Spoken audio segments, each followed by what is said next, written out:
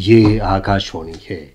अब आप विमलेंदु पांडे से समाचार सुनिए।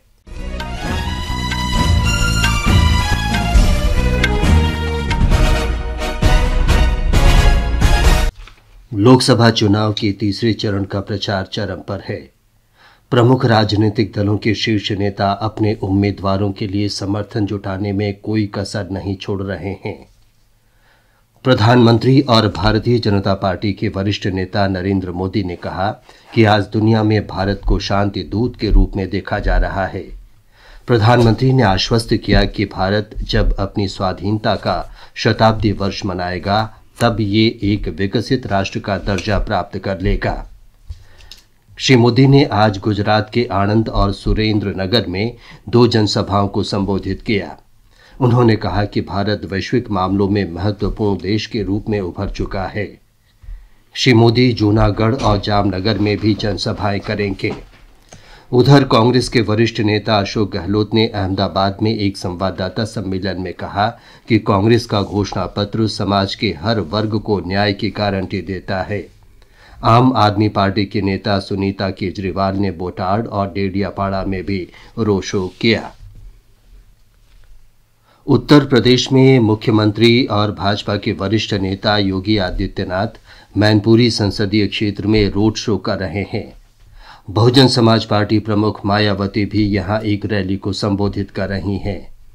भाजपा के वरिष्ठ नेता और केंद्रीय मंत्री अमित शाह बरेली, बदायूं और सीतापुर जिलों में प्रचार कर रहे हैं। शाम को वे लखनऊ में पार्टी संगठन की बैठक का नेतृत्व करेंगे।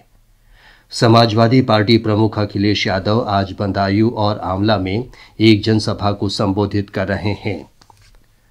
तृणमूल कांग्रेस की प्रमुख ममता बनर्जी ने आज कहा कि तृणमूल कांग्रेस के शासन में पश्चिम बंगाल विकास कर रहा है, लेकिन केंद्र सरकार राज्य की अनदेखी कर रही है।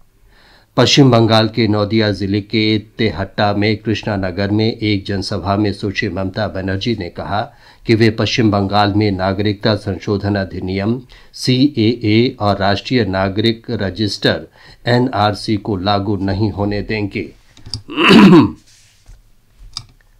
केंद्रीय अन्वेषण ब्यूरो सीबीआई ने आज पश्चिम बंगाल के संदेश खाली में अवैध तरीके से ज़मीन हड़पने, जबरन वसूले और महिलाओं के उत्पीड़न मामलों में कलकत्ता उच्च न्यायालय को अपनी प्रारंभिक जाँच रिपोर्ट सौंप दे। सीबीआई के वकील ने एजेंसी के अधिकारियों को संदेश खाली के ज़मीन रिकॉर्ड प्रदान करने में राज्य सरकार के असहयोग की भी शिकायत की। इस बीच खंडपीठ ने राज्य सरकार को सीबीआई को सभी आवश्यक सहयोग देने के निर्देश भी दिए। संयुक्त राष्ट्र में भारत की स्थायी प्रतिनिधि रुचिरा कंबोज ने कहा है कि भारत, फलस्तीन और इसराइल की समस्या के लिए द्विराष्ट्र समाधान के प्रति वचनबद्ध है। संयुक्त राष्ट्र महासभा में उन्होंने कहा कि भारत द्विराष्ट्र समाधान का समर्थन करता है, जहाँ फलस्तीन के लोग सुरक्षित सीमाओं में एक स्वतंत्र देश में आज़ादी से रह सकें।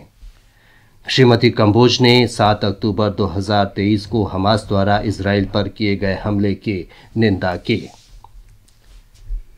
अमेरिका के केंद्रीय बैंक फेडरल रिज़र्व ने बाज़ार अनुमानों के अनुरूप छठी बार प्रमुख ऋण दरों में कोई बदलाव न करते हुए इसे पाँच दशमलव दो पाँच से पाँच दशमलव पाँच शून्य प्रतिशत पर स्थिर रखा है।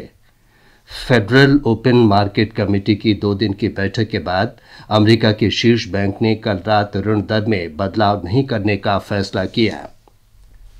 मौसम विभाग ने आज तक पश्चिम बंगाल, झारखंड, ओडिशा और बिहार में भीषण लू जारी रहने का अनुमान व्यक्त किया है।